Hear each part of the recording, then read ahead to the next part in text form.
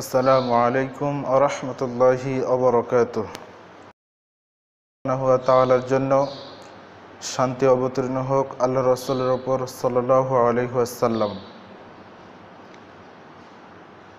সুপ্রিয় দর্শক, শ্রোতা, আজকে আমরা সংক্ষিপ্ত সময় আপনাদের জন্য ছোট্ট একটি বিষয় নিয়ে উপস্থিত হয়েছি, সেটা হচ্ছে সাদাকাতুল ফিতর। অর্থাৎ রমাদান শেষ হতে যাচ্ছে। এই রমাজানের শেষে এবং ঈদের আগ মুহূর্তে যে সিয়াম পালনকারী ব্যক্তির জন্য তার ভুল ত্রুটি, সিয়াম পালনে ভুল ত্রুটির জন্য যে ক্ষতিপূরণ দেওয়া হয় এবং মিসকিনদের জন্য যে খাদ্যের ব্যবস্থা করা হয়, সেটার নাম হচ্ছে সদাকাতুল ফিতর। রসুল সাল্লাহ আলী হাসাল্লাম এটি সকলের জন্য ফরজ করেছেন, ছোট, বড় সকলের জন্য।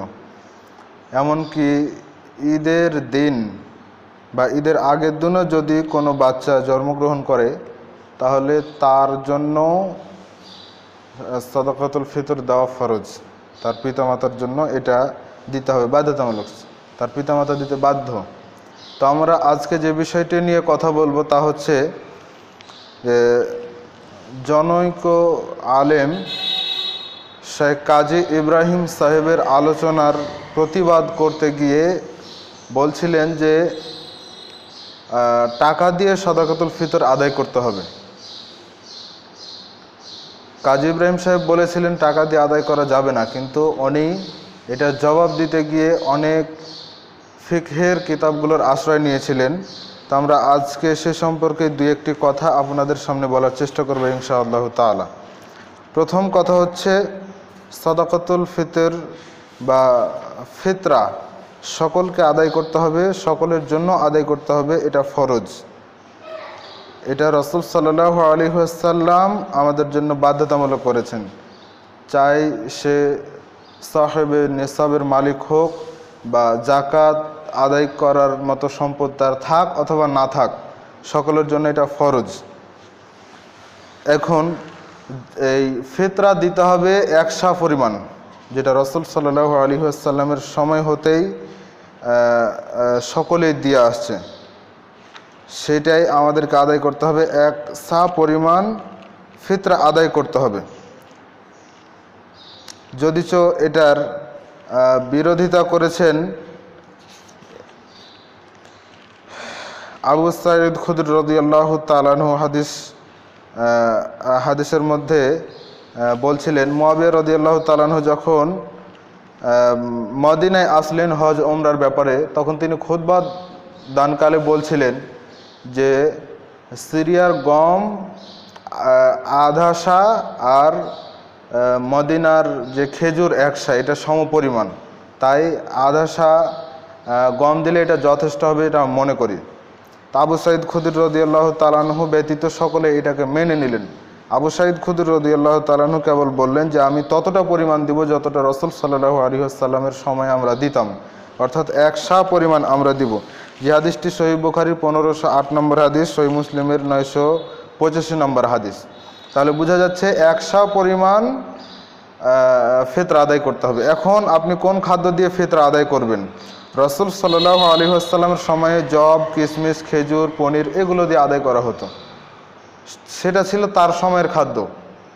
এটা চলমান সময়ে যে খাদ্যটা প্রধান হিসাবে থাকে দেশে, সেই খাদ্য দিয়ে ফিতরা আদায় করতে হবে, এটা তখন বোঝানো হয়েছে।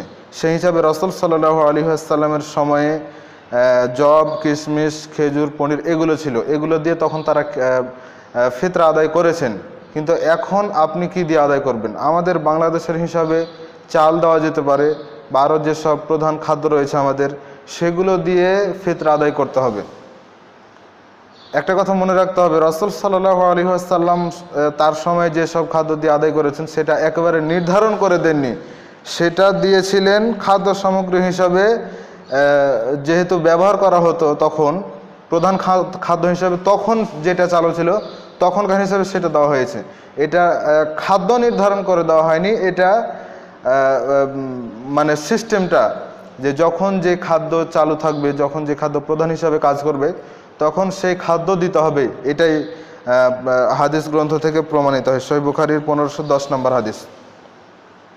এখন আমাদের সমাজের কিছু মানুষ যারা টাকা দিয়ে ফেতরা আদায়ের চেষ্টা করে বা অনেক আলেমও টাকা দিয়ে ফেতরা আদায়ের জন্য বলে থাকেন।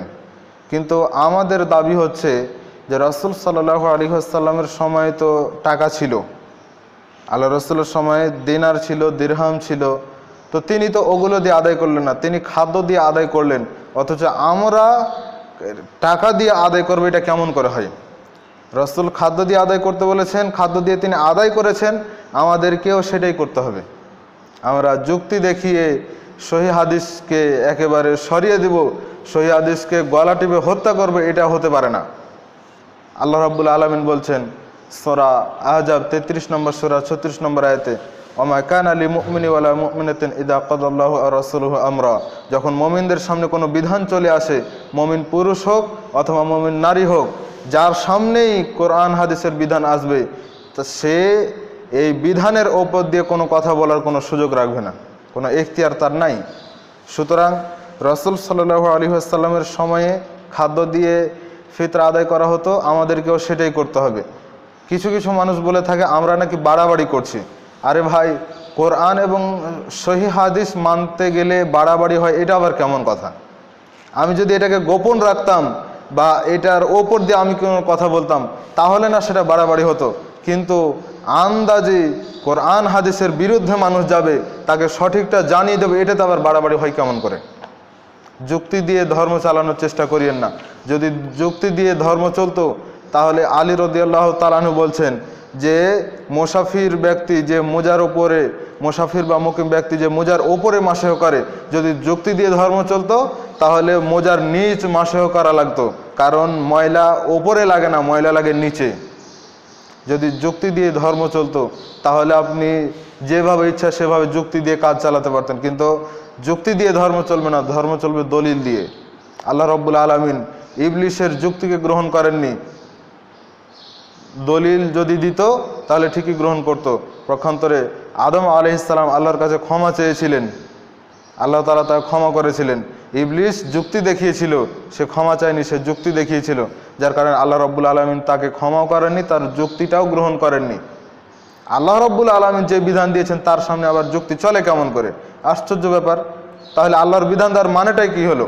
আর আপনি বান্দা, আপনি তো আল্লাহর কাছে বলে এসেছিলেন আলেমে আরহাই যে আল্লাহ রব্বুল আলম যখন জিজ্ঞাসা করলেন যে, আলাস্তবে রব্বিকুম? আমি কি তোমাদের রব নই? তখন তো আপনি, আমি সবাই বলেছিলাম যে, কালু বালা। হ্যাঁ অবশ্যই আপনি আমাদের রব। শাহিদ না, আমরা সাক্ষ্য থাকছি যে আপনিই আমাদের রব, আর কেউ আমাদের রব নয়। তো রব যেটা বিধান দিয়েছে, সেটা বাদ দিয়ে আমরা যুক্তি দেখিয়ে ইমামদের মতামতকে গ্রহণ করি। এটাই বা হয় কেমন করে?